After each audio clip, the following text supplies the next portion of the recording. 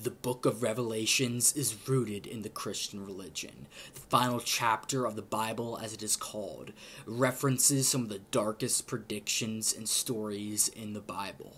Most notably, the Bible is about the past events. The book of Revelations is in the future most notably the second coming of Jesus Christ, but also the prediction of the fake Messiah, the fake second coming of Jesus Christ. A person will rise to power in time of desperation and destruction.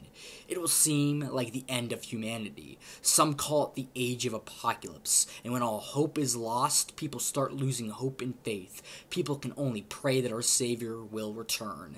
That's why the fake Messiah will easily fool almost everyone. This person can be referred to as the Antichrist. Now, when will this fake Messiah come? When and why would he come?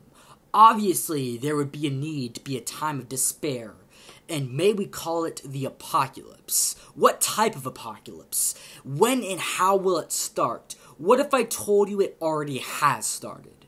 In order to explain how the apocalypse has started, I need to explain to you something called the New World Order.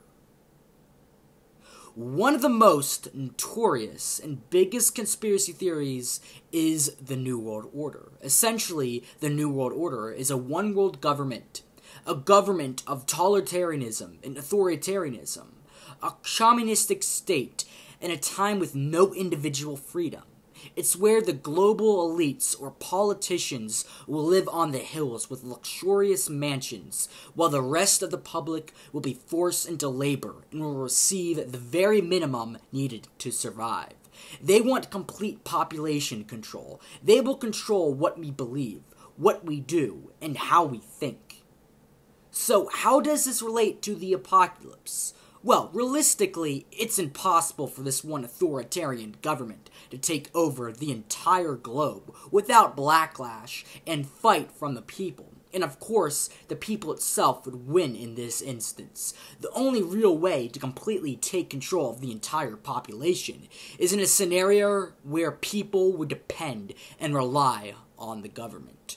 We sort of saw this recently with the pandemic, where we depended on the government to help fight off the virus and keep us safe. Of course, they would need a pandemic much more serious than the one we recently had, however. It almost seems that we would need a pandemic that severely affected the entire globe. It would have to be a pandemic that would threaten the existence and future of humanity. Something like that for all we know, might never happen on itself. The New World Order wouldn't just wait for God only knows how long until the next virus is formed. They'd take it in their own hands and make their own virus. But it couldn't just be a simple virus. There would have to be more. There would have to be a mass panic, tons of destruction, essentially anarchy. This is where the government would need to release something to the world. It could be World War III and nuclear fallout. It could be another version of the plague, but even more deadly. It would take something where the world would need the government to save itself. A lot of people believe the one world government would work together to purposely create the apocalypse, whatever it would be.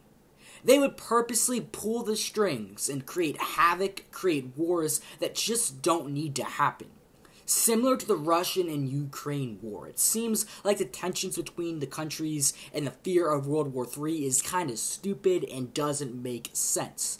It doesn't need to happen, but it doesn't need, but it also does need to happen because that's how the New World Order will take complete control. The theory and speculation of this New World Order, after it has created the apocalypse and left people on their knees begging for the mercy of God. There would be this one person essentially made to look like the second coming of Jesus. A person meant to bring prosperity, give us all hope. Of course, this second coming of Jesus is fake. This person is ultimately the one behind the plan of creating the apocalypse. He will pretend to be our friend. He will pretend to be the Messiah or ultimately replace him altogether. But in the end, its ultimate goal is to bring people and society to its very edge and rebuild a new society where this fake Messiah is the face of it. He's the one we owe our respect and must worship. We must listen to whatever he has to say because obviously he is our savior. He has saved us from the apocalypse, the one that he created, however. But we won't know that because at that point, he'd be our only hope for survival. If you'd even question him or go out of place, you'd be killed. This is the Antichrist. This is the New World Order. This is the New World Order's plan, and you must follow in line or you will be killed. Today, our government seemingly is at a breaking point, a place of division. The world seems to be falling apart. Wars are in the distance. Cyber attacks, pandemics are all among us. This fake alien invasion is upon us. All these things are used to drive fear into the core of humanity. We are living in the times of change and on the horizon of the apocalypse. If people don't wake up and act soon, it'll be too late.